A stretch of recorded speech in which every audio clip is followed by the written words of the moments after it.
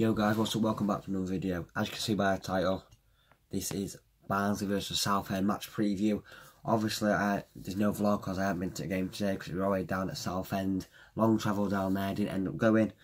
Because um, as you know, I can't go to every away game. I've got my tickets for Doncaster and I'm off to Walsall away, so that's two away day vlogs. A vlog coming next week against Accrington.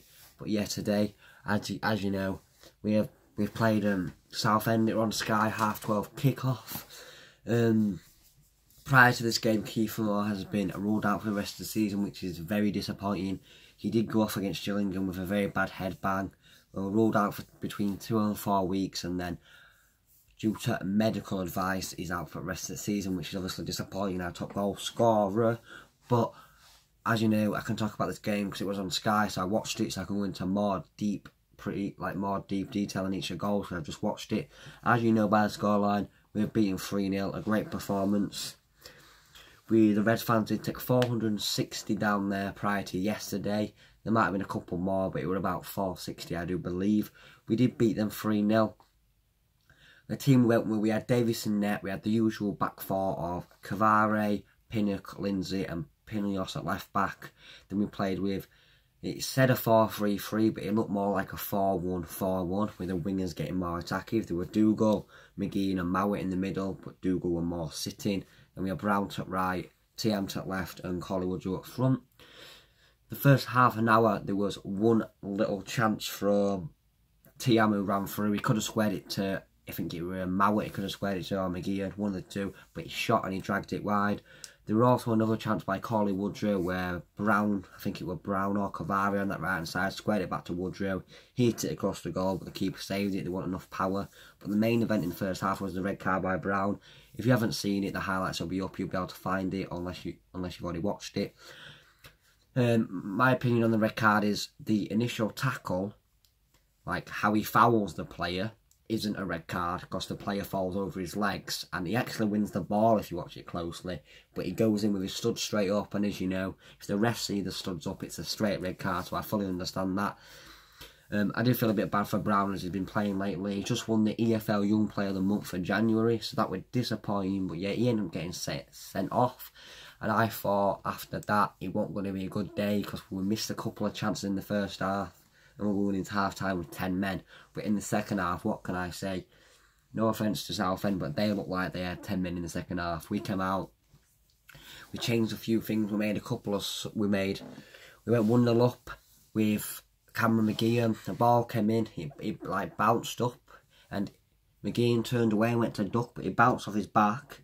Somehow he had time to turn round, get it, shoot before the Southend defenders did out his shot dragged it in bottom corner, 1 0 to Barnsley. We ended up making a sub. Mike Bähre came on for Mamadou Thiam. Bähre moved over to the left hand side where Thiam was. Um, I think it was Mowatt in the middle, won the ball. We counter attacked. Bähre got the ball. I thought it was a bad pass when he did it, but he played through Woodrow. And if you watch the goal, guys, it's a really good goal. First time finishing to the bottom corner, celebrating in front of the fans. It was a really good finish by Woodrow. Then we ended up bringing Jordan Green and Adam Jackson on. Green went onto the right, but then switched with Bähre. So Bähre were on the right and Green were on the left. And then Jackson, just to give him a bit of the game time. We were 2 up at this point. We hadn't scored many goals.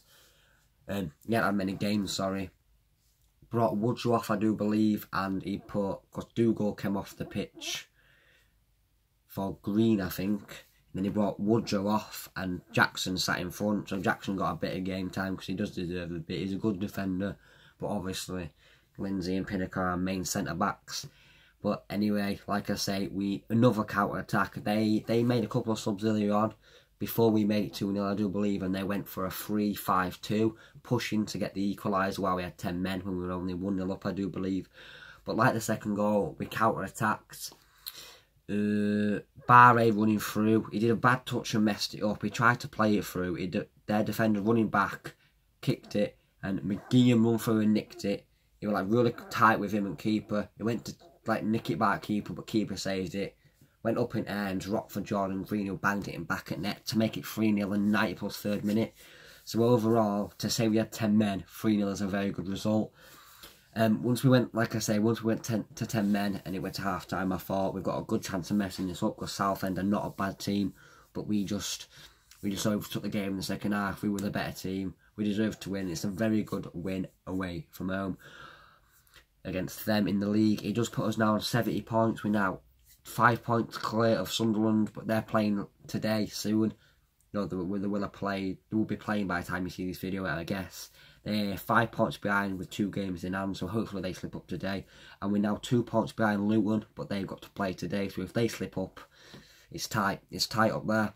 Good win today. We've got Accrington next week. Obviously, Jacob Brown is going to miss Accrington, Sunderland, and Doncaster. I'm, I'm going to be vlogging all in three games, so three big games coming up.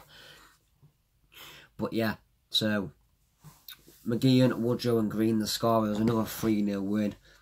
Um, a really good clean sheet as well. Good to get three goals to say we hadn't scored in our last two without Kieffer Moore, but it proves we can, we've still got goal scoring in that team without Moore.